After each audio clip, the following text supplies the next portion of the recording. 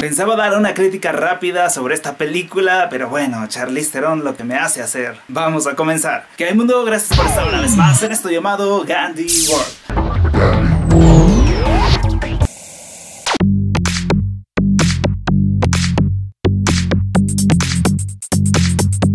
Y en esta ocasión hablaremos de la película Lugares Oscuros. Es la historia de la mujer que sobrevivió al brutal asesinato de su familia cuando ella era una niña. En la actualidad ella se ve nuevamente obligada a enfrentarse a ese acontecimiento, ya que una sociedad secreta obsesionada con resolver crímenes reabre el caso. Dirigida por Gillis Packet Brennett, es una película de misterio basada en la novela del mismo nombre de Gillian Flynn, con un guion no lineal, tranquilo, que llega a ser predecible y se maneja de manera poco emocionante, pues es algo plano dejando que el misterio de quién mató a la familia se vaya resolviendo a través de flashbacks y no de una forma ingeniosa. Desarrollo de los personajes no tenemos realmente, solamente vemos cómo viven, lo que necesitan, la relación que forman, pero no hay una evolución o al menos no tan marcada, siempre se mantienen igual, solo sabemos que cambiaron con respecto a cuando Libby y su hermano Ben eran niños, que vivieron esta experiencia hacia el presente, donde ya hay resentimiento y frustración. Además los personajes son poco cautivadores, las actuaciones son bastante normales, solamente Charlize Theron es la que logra sacar bien a su personaje, dándole un poco más de matices de lo difícil que se lo pone el guion, y creo que cada vez más confirmo que Chloe Moretz es una actriz promedio, llega a cumplir pero no tiene una actuación destacada. La cinematografía incluye diferencias con la perspectiva actual y la perspectiva de Libby cuando era niña y vivió esta masacre,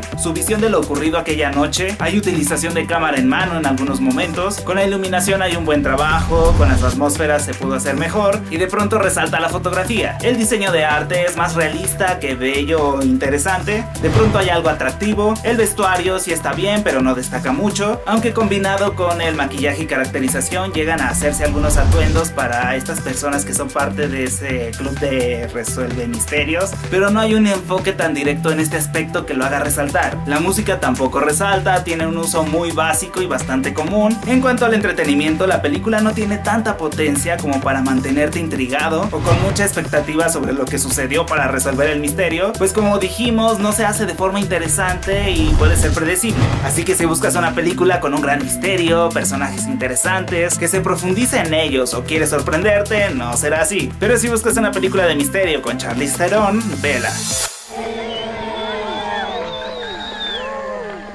Recuerda que también puedes dejar tu calificación o comentario para tener la oportunidad de aparecer en el próximo video y a continuación vamos a ver lo que nos dejaron en el anterior video de película, la cual fue Los Inventores.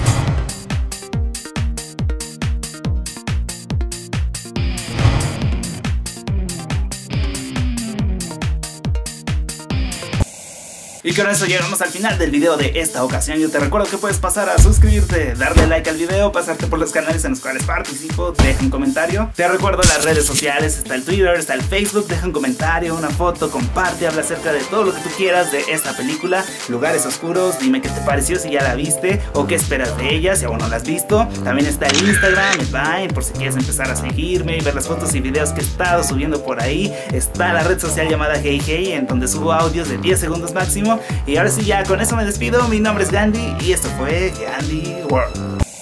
Esta película la vi más que nada por Charlize Theron, porque es una gran actriz y es de mis favoritas, pero no esperaba mucho y sí resultó en una película muy simple y de cierta manera sentí que hizo trampa con la historia y la manera de llevarla. No quedé satisfecho, pero tampoco decepcionado, simplemente se me hizo X. Así que ya sabes que con estos videos de película tú puedes tener una referencia al momento de decidir ver una y que al final lo más importante es que generes tu propia opinión y que tú disfrutes la película.